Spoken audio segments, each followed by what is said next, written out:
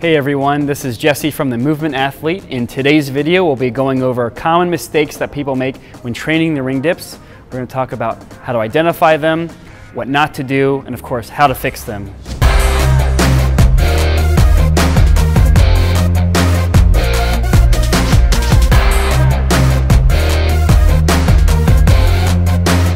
So normally I see seven different mistakes when people are training ring dips. Being able to identify and improve them is going to improve your performance on the dip and of course lead into more difficult, impressive skills on the rings. Many reasons of why you might not be able to, to, do a rings dip is because you probably have to go backwards in the regressions and go back to a stable surface and perform a, a, technically good dip on a stable surface such as the two chairs or the parallel bars. So getting that movement pathway solidified is a great idea. Um, you also need to be able to be strong and stable at the top of the ring dip, of course, and the bottom of the ring dip, right? The start and the ending phase of it, and tempo work, moving slowly through it and having that control. So reasons of why you might not be able to do your ring dips can come down to a few things. Number one is maybe there's a lack of understanding of what you're doing in the ring dip, unaware of your movement pathway. Uh, if you're training fatigued and doing a lot of reps and you're not doing high quality movement, you're going to be training incorrectly. And then more specifically, there'd be things such as um, not starting the support position in the, in the right position, right? You might have bent arms, poor posture, uh, be resting on the straps would be another one not dipping low enough, moving too fast in the dip, contacting the lats and triceps, which will make it easier and reduce from your uh, strength gains, and not finishing the lockout at the top. And this, of course, is similar to the initial one, but it's so important that I wanted to mention it twice. It's where the dip starts. It's also where it ends. Some people start correctly at the top and then don't finish the rep on the other end of it.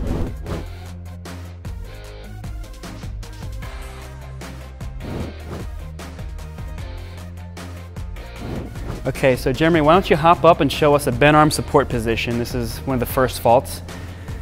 So you can see his arms are just stuck in this bent position, right? This is often where people start and finish their dips. So anyway, the way to fix this, of course, is to simply lock out. We'll show you this in a moment. People might be stuck in this bent arm position because number one, they could be a lack of understanding. They might not know that they're bent.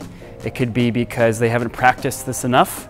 It could be because there's elbow pain, right? It might be hyperextending the elbows and it's uncomfortable and it feels better to bend it. So again, let's, let's hop back up and we'll go from this bent arm position and then fixing it of what would happen, right? So Jeremy's gonna just push down harder on the rings and straighten his arms as much as possible. You can see he's straighter, he's taller now, and he's got that, that controlled support. So that's what it should look like going from bent to straight.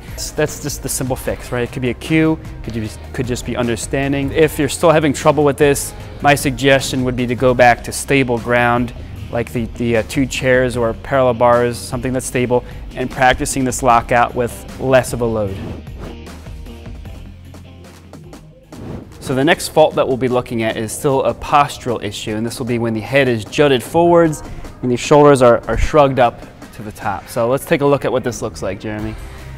So he's gonna hop up and he's in the support position, shoulders are shrugged, head is forward. So let's take a look at what it looks like to fix it, of course, right? Pushing tall again, neutralizing the head position, being tall. A reason this might be happening is because the muscles for retraction and depression are a little weaker, or maybe there's, a, again, a lack of understanding. So uh, maybe you need to strengthen the rhomboids, the rear deltoids, the triceps, the pecs, to indeed push down and retract the shoulders to be nice and tall. The next fault that we'll be looking at with the ring dips are touching the straps. And this can happen in the support phase and throughout the whole dip. So this is probably the biggest fault. Let's take a look at what this is.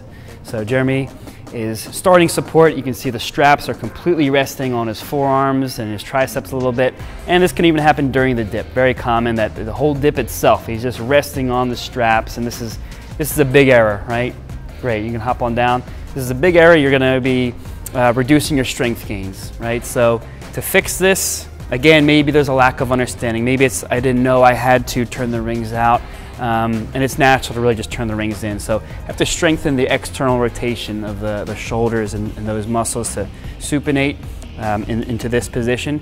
So a great idea would be to practice this on the parallel bars with the correct turnout. And, and uh, basically the pit of the elbows should be forwards. That way you're not resting on the straps when you rotate inwards, right? You have to retract and keep it away from the straps. All right, so we're gonna take a closer look at what the straps resting on the arms looks like. So you can see in the support position, there it is, it's on his arms from the triceps to the forearms. This might also happen during the dip. So as he's dipping, there's still a lot of contact with straps there. So the next common fault that we'll be looking at is when you don't dip low enough. So the form might be good, but it just might not be in a full range. So Jeremy's gonna show us what that looks like. So starts in support, and you can see it's just a, it's like a mini dip. He's going about halfway down, right? Great. Okay, so this might happen because there could be a lack of the range of motion that we spoke about before. Maybe you're just not able to get into this position in the first place. And it could just be it's not strong enough, but you need to spend a lot of time being comfortable at the bottom of a dip. Again, relating this to squats, if you are not comfortable at the bottom of your squat, your squat's not going to go so well. So dips, same thing. You need to be comfortable at the bottom of a dip, strong and stable, and then being able to press back up to the top again. The next fault that we'll be looking at are when the dips are too fast, right? So just rushing through it and you're probably skipping the whole range and you're not finishing the lockout, but nonetheless, let's look at what the quick rush dips tend to look like. So just rushing. Good. You can see he's not finishing the lockout. He's just going through them very fast and he's not finishing the, the whole lockout. It's too fast. And again, if this is happening in the, in the learning phase, you're really, really taking, you're, you're, missing a lot of bang for your buck here.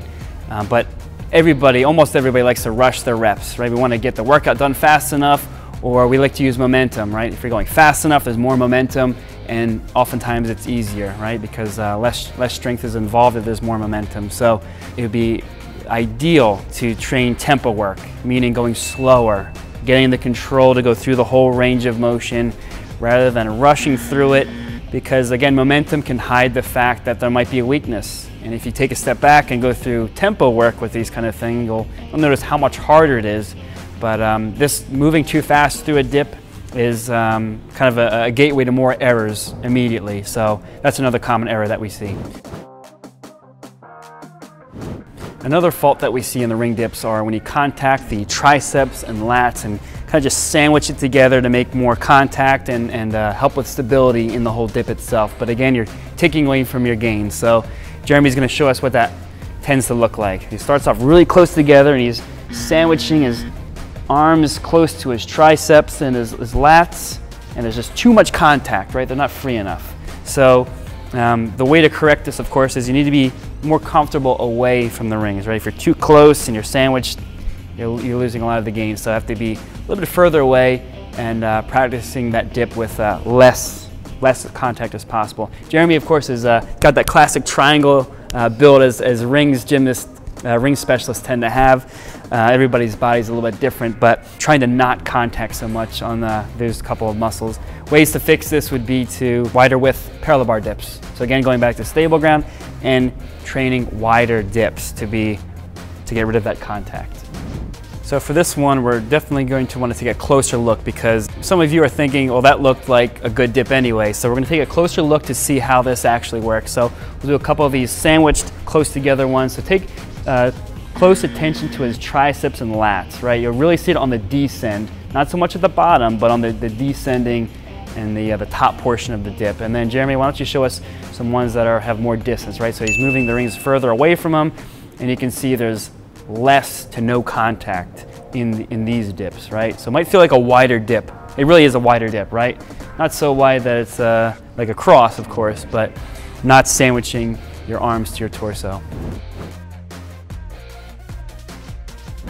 So the last major fault that we see are not completing the lockout during the dips. So the dip might start off in the correct position, but of course, after each rep, maybe it doesn't return back to its original starting point. So let's take a close look at some of the ones that are incorrect and then we'll look at the correct. So Jeremy starts off locked. He's gonna do a couple dips and you'll notice he doesn't return back to the top, right? He's just, just short of it.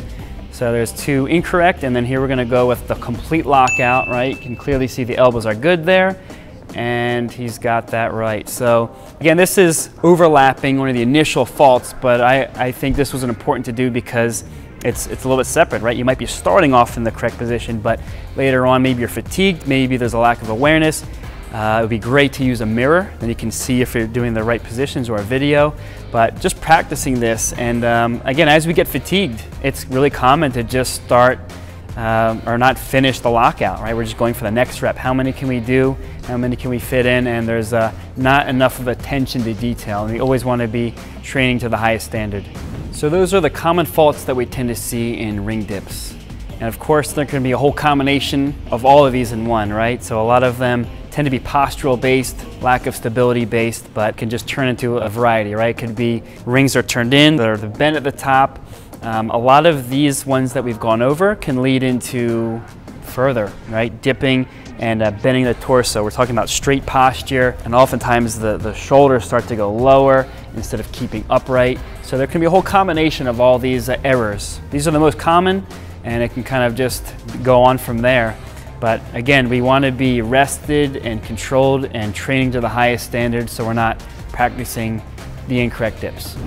Real quick, if you guys liked what you saw here, please click the link in the description below. It'll take you to a free course that's got a lot of guides, challenges, and resources for how to learn more calisthenic and bodyweight training skills. It's gonna help you get stronger, fitter, more mobile, happier, and it'll help you achieve your fitness goals. So see you inside.